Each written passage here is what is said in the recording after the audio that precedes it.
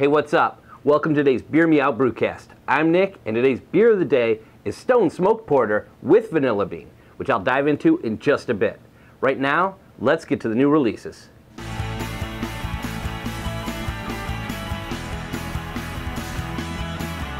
Tampa, Florida's Cigar City posted this picture to their Facebook page announcing the release of their fall seasonal brew, Good Gourd.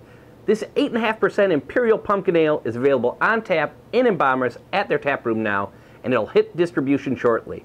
Personally, I love pumpkin beers. This one sounds awesome, so I've got my friend from Florida on the hunt for it right now. If you're in Chicago, be on the lookout for Goose Island's newest Fulton and Wood beer, Grand Goose. It's a Scandinavian-inspired beer with Colorado spruce tips and lingonberries, giving it a piney aroma with a hint of melon. Grand Goose is only available on draft and in Chicago. Now, time for brewery news.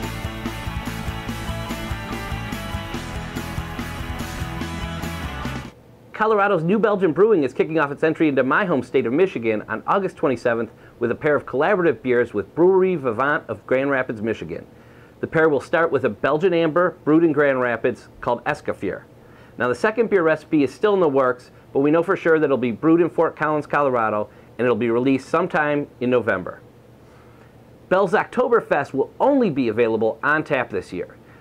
Due to the logistics of moving their brew house to a new location in Comstock, Michigan, and the lengthy fermentation process required for their Octoberfest, they were not able to brew enough beer for both a bottle and a draft release. On to beer events.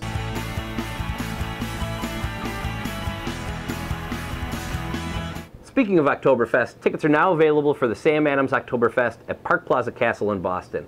The event ironically runs September 21st and 22nd and celebrates the release of Sam Adams Oktoberfest Brew.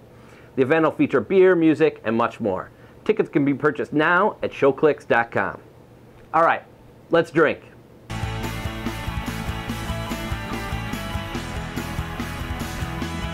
Today's beer is Stone Smoke Porter with Vanilla Bean. Now, I've had the regular Smoke Porter from them before, but I'm a sucker for anything vanilla. So when I saw this, I had to scoop one up.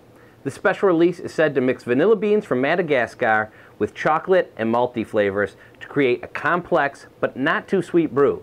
ABV is 5.9, so let's give it a try. It's got a great nose on it.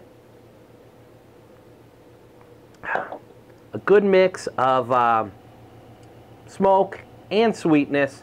I'd say a little bit more smoke, not too sweet. Overall, a really good beer. Um, I think I'll enjoy this after the show. So, as always, I'll leave you guys with uh, the latest of today's Beer Inc., and I'll say cheers.